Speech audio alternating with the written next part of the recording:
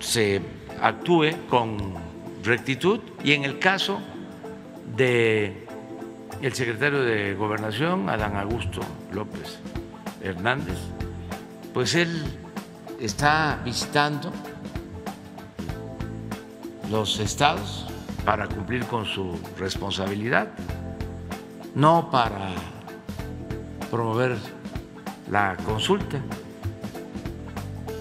no va a mítines, él para que se tranquilicen, se serenen los eh, adversarios, está ayudándome en la transformación. No es precandidato a la presidencia. Porque me está ayudando a la transformación del país. Entonces, que no se confunda. Él no está haciendo campaña. No es una para ese No es corcholata, presidente. Eh, no, Adán. no está este, eh, actuando de esa forma. Yo necesitaba un secretario de gobernación que eh, me ayudara al cumplimiento de la agenda que tiene que ver con el interés público, con la defensa del pueblo, con la protección del pueblo, con el beneficio del pueblo, para que este, se ponga este, el ejemplo de imparcialidad, porque el INE, el juez, no ha actuado con rectitud. Yo les eh, diría que hay elementos, hay pruebas de que solo se impide que se manifiesten, que participen los que están a favor de la transformación. No se cuestiona a los que eh, están abiertamente eh, llamando a que no participe la gente el domingo próximo. Por ejemplo, hacen manifestaciones eh, y dirigentes de partidos para que la gente no participe. Hay campañas y el INE no dice nada. Incluso aquí se comentó abiertamente el gobernador de Coahuila, del PRI, llamando a que nadie participara. Eso es no solo violatorio de la norma sobre la revocación del mandato, no solo violatorio de la veda, sino es violatorio de la Constitución, del el espíritu y de la letra de la Constitución, y además antidemocrático. ¿O no? Quienes no están, es que está Este, a favor de que se lleve a cabo la revocación.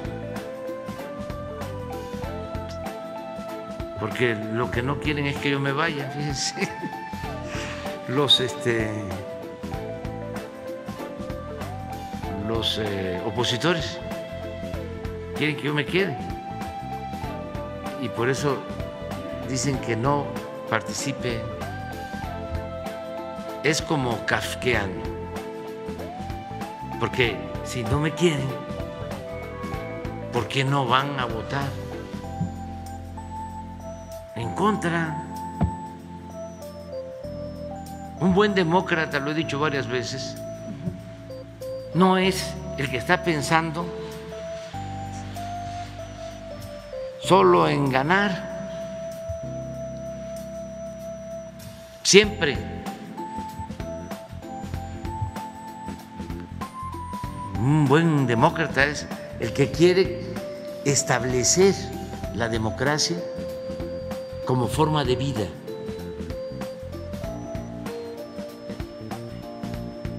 Que eh, sea el pueblo el que mande,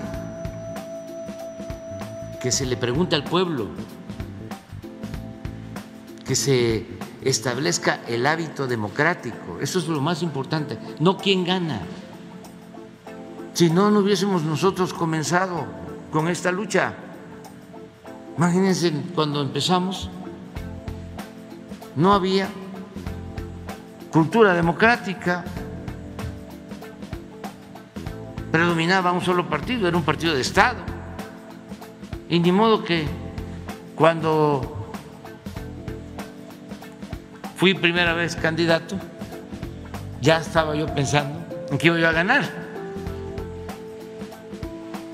en esas condiciones del pueblo. Entonces analizamos y decidimos de acuerdo a lo que más conviene al pueblo. Ahora estamos analizando, no lo hemos descartado, lo del horario del verano, para los que se levantaron hoy. Ayer este, y hoy, de noche. Este, porque estamos haciendo un análisis si hay ahorros de energía y estamos también viendo si hay daños a la salud.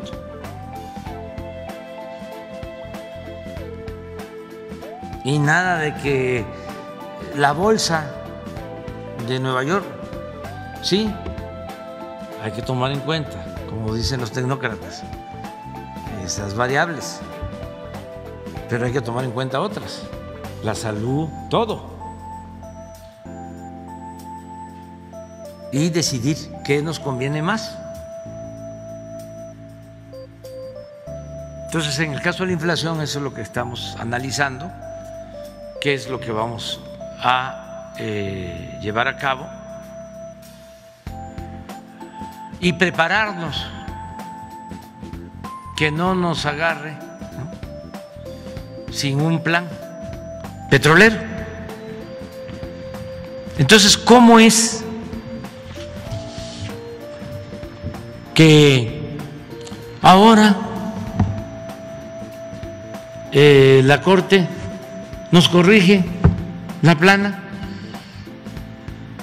porque en nuestra ley de austeridad se estableció de que un alto funcionario público no podía, después de dejar su eh, empleo, irse a trabajar a una empresa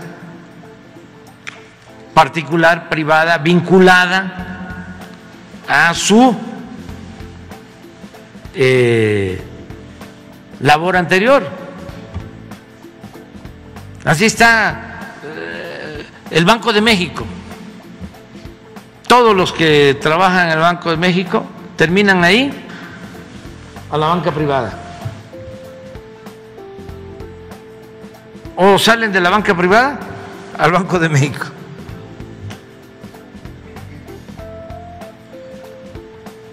Una mezcolanza,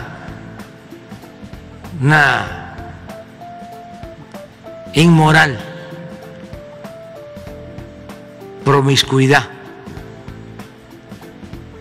política, administrativa. Entonces, no estoy de acuerdo con eso.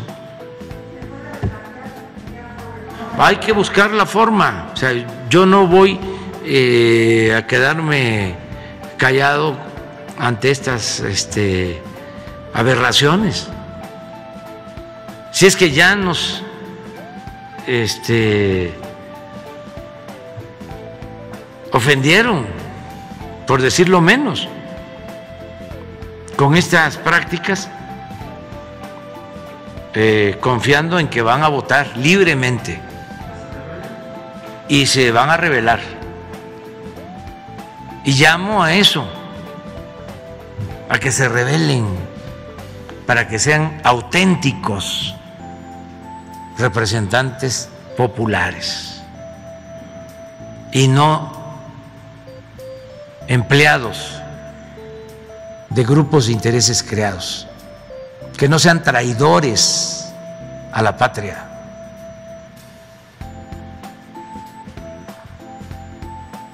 Que se rebelen, que tengan la arrogancia de sentirse libres,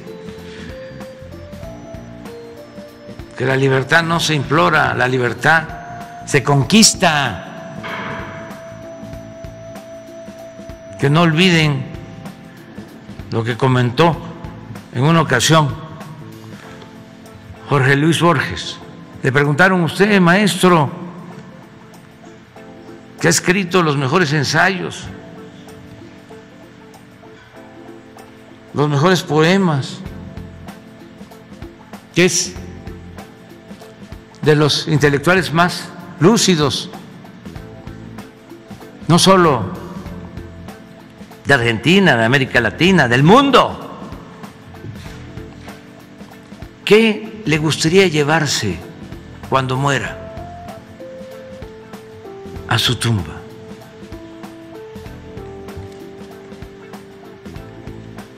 ¿Qué le gustaría? Llevarse de todo lo que ha creado y de lo que ha vivido. Y contestó, esos pequeños momentos en que viví con arrojo. Los corruptos, porque no hay otra palabra,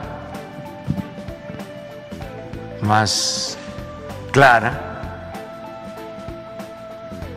lo que quieren es mantener el mismo régimen y están queriendo, hablando en términos de trenes, descarrilarnos,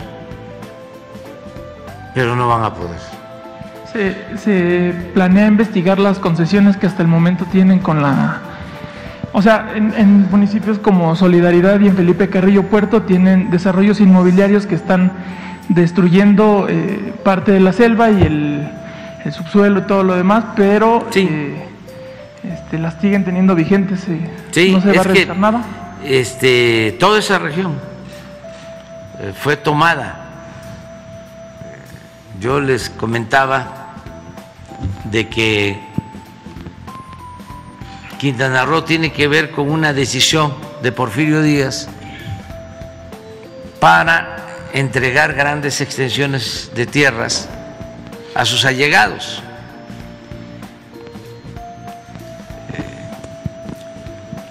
Quintana Roo pertenecía, el territorio, a Yucatán. Y con Porfirio Díaz se eh, creó un nuevo territorio con las tierras de Yucatán. No dijeron nada los hacendados yucatecos porque ellos estaban siendo beneficiados con el auge del Enequén y Porfirio Díaz les permitía tener esclavos. Que ya tomamos la decisión y que el 25% de todo el recurso destinado a la publicidad del gobierno va a orientarse a que haya seguridad social para los periodistas que no tienen ningún tipo de apoyo. con ese 25% vamos a financiar un programa de seguridad social vinculado con el Instituto Mexicano del Seguro Social, que va a incluir pensiones y va a incluir atención médica para el periodista y su familia. El 25% de eh, lo que estamos eh, destinando a publicidad va a ser para los periodistas en general. Básicamente, atención médica y pensión.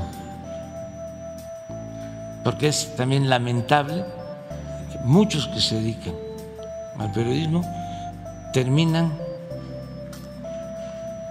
sin nada, sin atención médica y queremos un periodista. De fama, también muy escuchados, son los ídolos de personas como la senadora.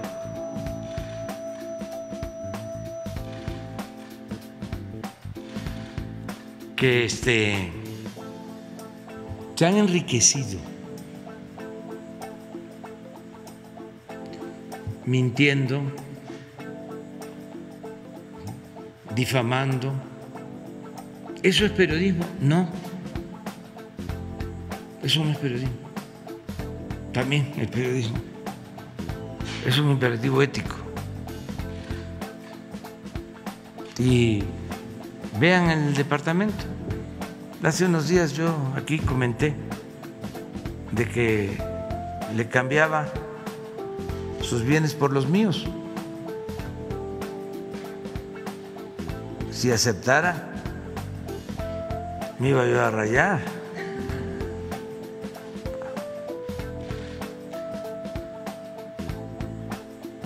¿De dónde tanto? 12, 13 departamentos en la ciudad, más departamento en Miami. Eh, tiene que aclarar porque parece que es vecino de García Luna.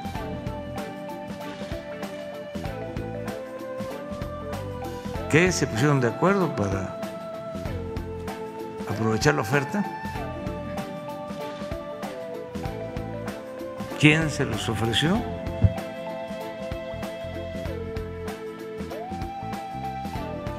Y no solo eso, tiene mucho más, mucho más. Ahora hay más elementos y eh, pronto vamos ya a dar a conocer lo que se considera sucedió realmente y quiénes son los responsables y vamos a que se conozca todo sobre este lamentable asunto. Fue un compromiso que hicimos. Hemos enfrentado obstáculos, pero hay voluntad para llegar al fondo. Yo lo comentaba hace unos días, esto no les gusta a nuestros adversarios, pero pues es cierto. Si no hubiésemos ganado, si el pueblo no hubiese votado por el cambio verdadero, ya hubiesen cerrado el caso de Ayotzinapa. Le hubiesen dado carpetazo. Pero como la gente votó por una transformación, pues ahora este caso y otros se van a aclarar. Y sí, no se está viendo de manera aislada. Es conocer los móviles,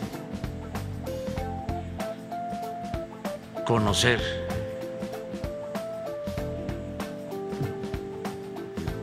quienes participaron, la invasión rusa a Ucrania, como se expresaron eh, unos legisladores, este, ya hay una campaña para solicitar que no los dejen entrar a Estados Unidos. Eso es eh, pues eh, regresar a la Guerra Fría, a eh, las épocas de la persecución y de la exclusión y del autoritarismo. No estoy de acuerdo con eso. Eh, bueno, no estuve de acuerdo cuando le quitaron al presidente Donald Trump su cuenta de Twitter, porque eso va en contra de la libertad. ¿Cómo vamos a estar hablando de libertad? ¿Cómo va a quedar la estatua de la libertad de Nueva York? Se va a poner verde, de coraje. Este, ¿Cómo vamos a hacer eso? Si se llevara a cabo una medida de ese tipo, con mucho respeto, enviaríamos una nota diplomática de protesta. Es que somos libres. Me gustó mucho lo que este, puso Volari. ¿Por qué no pones a Volari? Eh, es Volari, ¿no? Volaris. Ya ven que yo me como las heces. Pues ahora es energía limpia para hacer negocios sucios. De modo que el PRI tiene que definirse. En el caso del PAN, no se puede esperar mucho. No es justificación, pero el PAN surgió para defender los intereses de particulares de empresas nacionales y extranjeras. No hay que olvidar que el PAN nace en 1939, un año después de la expropiación petrolera, para oponerse a la política de general Cárdenas. un partido desde sus orígenes conservador. Incluso hay quienes han estudiado la historia del partido y lo vinculan con grupos o con el pensamiento nazifascista. Eso es tema de discusión, debate.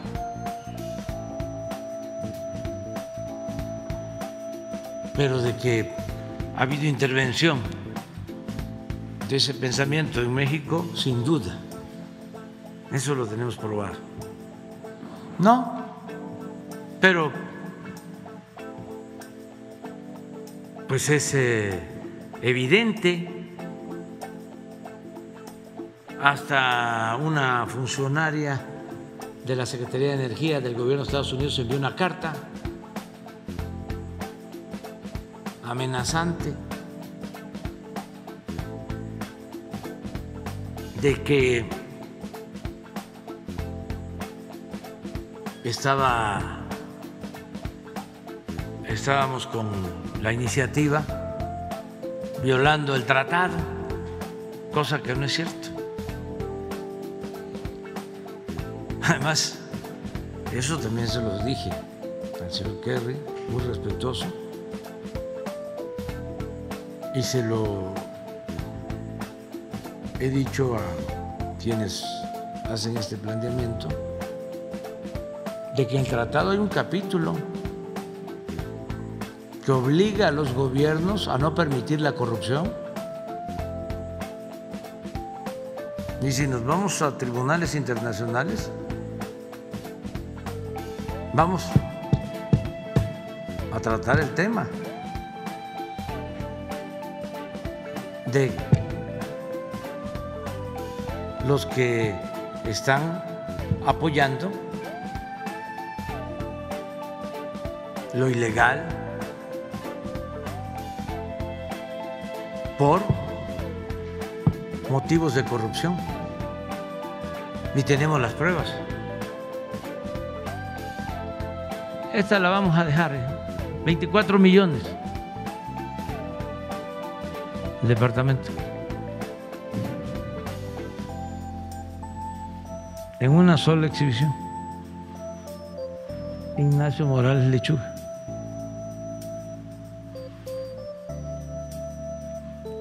el notario.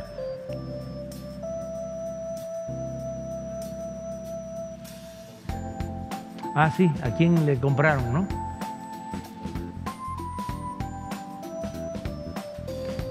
Inmuebles Abel. Nombre de...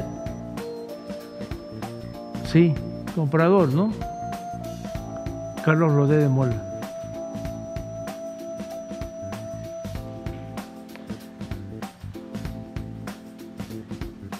¿Es Álvarez? Sí, ah, no vaya a ser otro.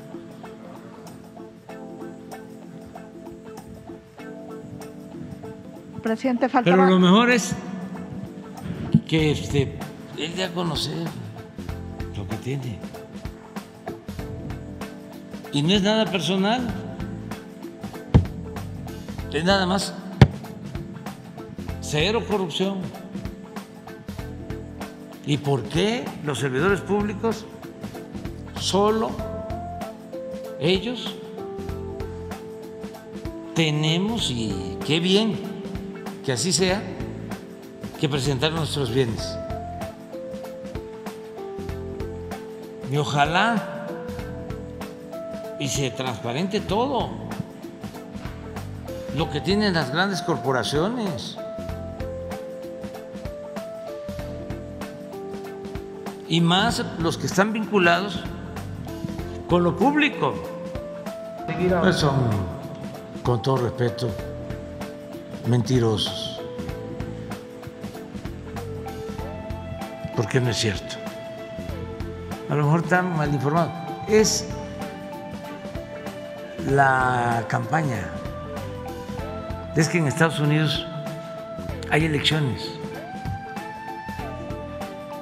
Qué bueno que nada más son cuatro. Porque cuatro golondrinas no hacen verano. Pero, ¿qué voy a contestarles? nada. Y van a seguir así. Ojalá y sean pocos. Ahora estamos invitando a senadores de Estados Unidos, de los dos partidos, para finales de abril para que este, podamos reunirnos en el sureste. ¿Sobre qué tema? Desarrollo del sureste y de Centroamérica para enfrentar el fenómeno migratorio como lo hemos estado planteando. Pero eh, están desinformados. Yo no tengo ninguna vinculación más que de respeto con el fiscal Germanero. Ya no es el tiempo en que el presidente daba instrucciones en el Poder Judicial, en la Suprema Corte, en la Procuraduría. No, ahora hay un auténtico Estado de Derecho. No hay un Estado de chueco.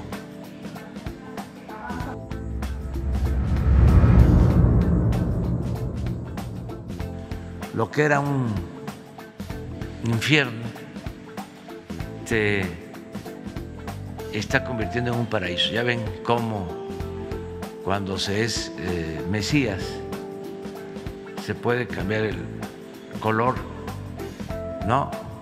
del, del mar y se pueden convertir los eh, infiernos en paraísos.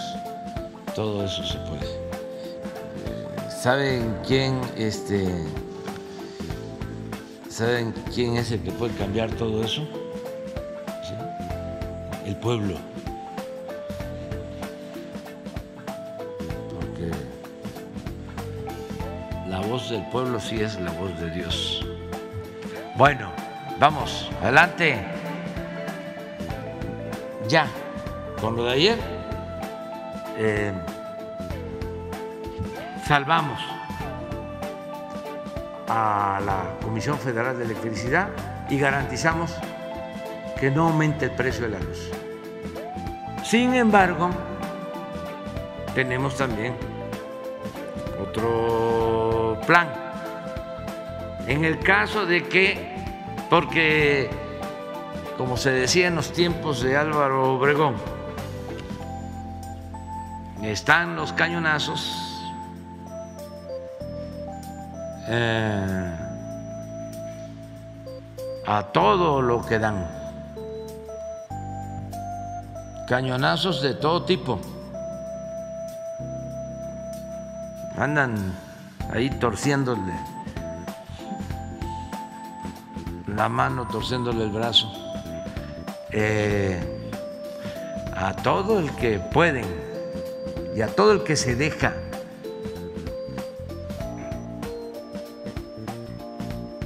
Entonces, ahí andan. Los tengo bien fildeados, como se dice en el béisbol. Pero ayer